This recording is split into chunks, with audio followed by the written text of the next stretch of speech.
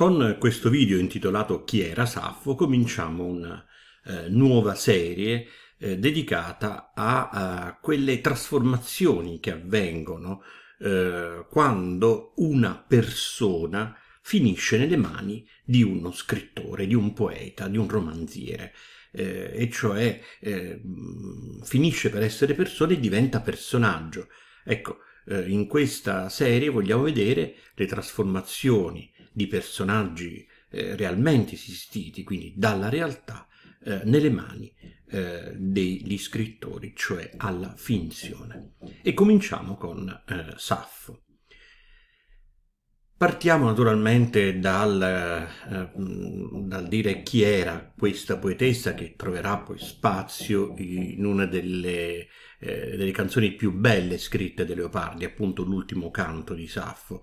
Eh, era una poetessa greca eh, dell'isola di Lesbo, mm, era vissuta nel VII secolo a.C. e proveniva da una nobile famiglia. Per la verità lei non era eh, della capitale di Lesbo, cioè di Mitilene, era nata ad, Eres, ad Ereso e si era trasferita a, Mati- a Mitilene eh, soltanto in un secondo momento. È qui che si sposa e eh, ha pure una figlia di nome Cleide ehm, che ehm, racconta, di cui parla in, un, in, alcuni frammenti che ci sono eh, arrivati.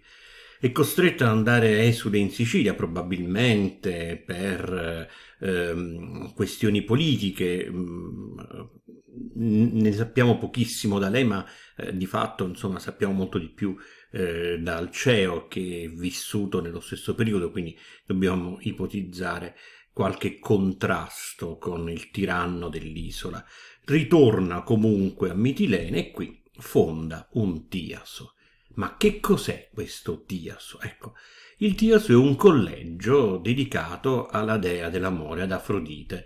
Ma cosa si fa in questo Tiaso? Si impartisce un'educazione eh, artistica ma anche religiosa a quelle ragazze aristocratiche che erano in età da marito, quindi eh, come preparazione al matrimonio stesso. In particolare l'educazione era, eh, si caratterizzava per lezioni di canto, di danza, di musica in particolare la lira, eh, attività varie eh, nelle quali appunto si eh, davano dei, dei, consigli ai ragazzi come prendersi cura del proprio corpo, su come insomma abbellire la propria persona anche con alcuni piccoli lavoretti ehm, manuali e poi l'educazione era, abbiamo detto, anche religiosa perché c'era un, eh, una serie di funzioni in onore di Afrodite. E, mh, questo eh, sappiamo qualcosa della vita del Tiaso dai frammenti di Saffo eh, e quindi ovviamente abbiamo l'intera produzione, quindi abbiamo soltanto dei, dei, dei testi, da cui però ci possiamo fare un po' un'idea eh, di quali fossero i sentimenti eh, in questo Tiaso. Saffo per le proprie eh, ragazze eh, provava sentimenti misti dalla gelosia al desiderio fisico, all'attrazione fisica. Ehm, eh, il eh, rapporto omoerotico non era condannato in Grecia, ma mh, di fatto può darsi anche che Saffo fosse eh, veramente colpita dalla bellezza di alcune eh, di queste sue eh, allieve e eh, anche il rimpianto quando queste allieve avevano completato il percorso e quindi ehm, erano ormai pronte al matrimonio. E l'altra Saffo? Come nasce quell'immagine di Saffo che noi leggiamo nell'ultimo canto di Giacomo Leopardi?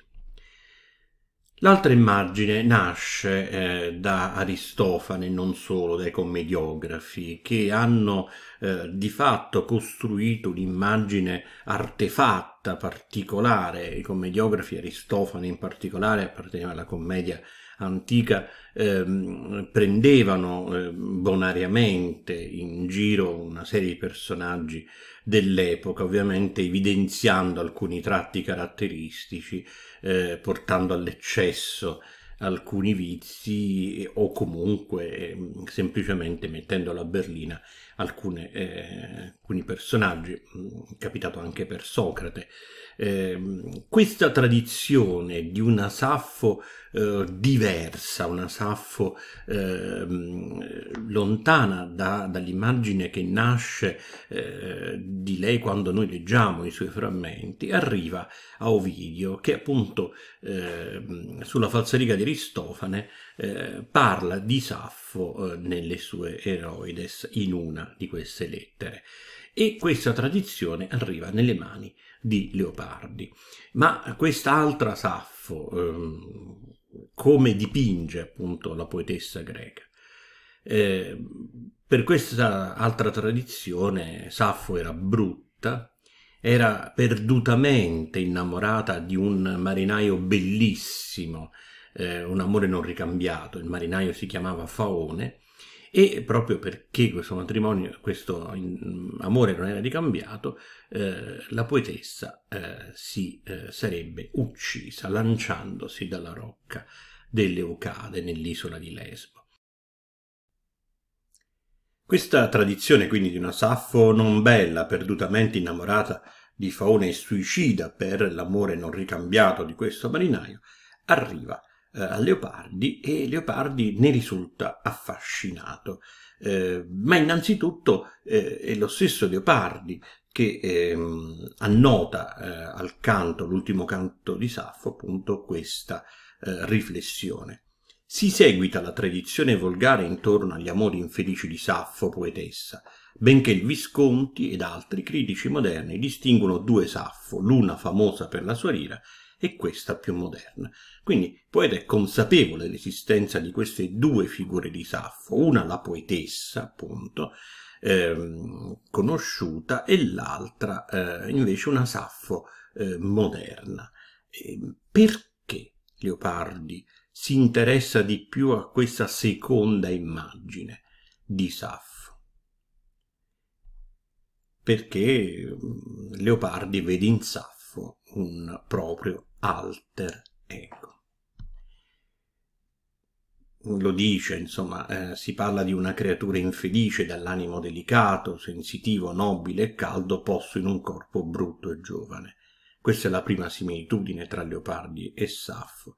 Eh, la bruttezza di Saffo, ma anche i suoi mh, toni delicati, la sua dolcezza, come appunto traspare in quell'ultimo canto di Saffo, ehm, stabiliscono un parallelo appunto tra questa poetessa greca e eh, Leopardi stesso, quindi una creatura infelice, però dall'animo nobile, dall'animo sensibile, dall'animo delicato, eh, ma questo animo si trova purtroppo in un corpo brutto. L'altro elemento che spinge Leopardi a scegliere questa versione di Saffo e perché, come Saffo, anche lui ha cercato un impossibile accordo con la natura. Anche nell'ultimo canto di Saffo la natura appare eh, placida, appunto, bella, eh, ma eh, davanti a questa immagine della natura ce n'è un'altra sottesa che eh, appunto piano piano si comincia a costruire in questi anni l'ultimo canto di Saffo è appunto eh, appartiene alle canzoni che sono state scritte tra il 1818 e il 22 eh, quindi eh, immediatamente prima delle operette morali. Leopardi riflette sul concetto della natura e piano piano il concetto della natura eh, si sta evolvendo nella riflessione leopardiana. Non c'è più una natura benigna ma una natura che si avvia ad essere matrigna come appunto lo sarà nel, eh, nelle operette eh, morali.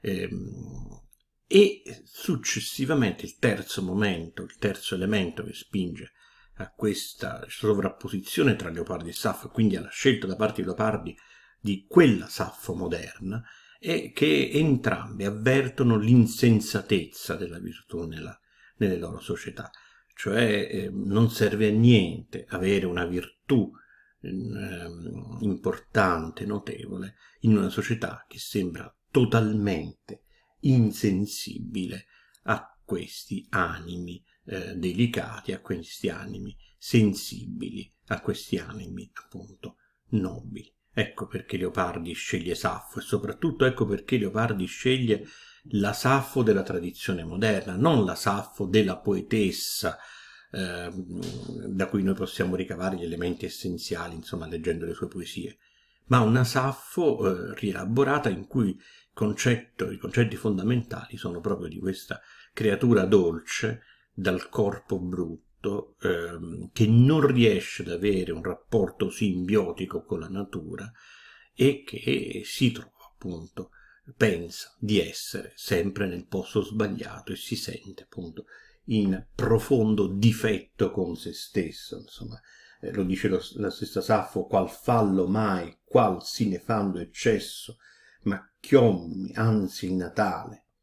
Ecco, quindi eh, quale errore mai ho compiuto eh, per, mh, perché io possa portare appunto le stimmate di questa mia eh, infelicità in una società eh, completamente chiusa in se stessa e insensibile ai grandi animi, agli animi sensibili.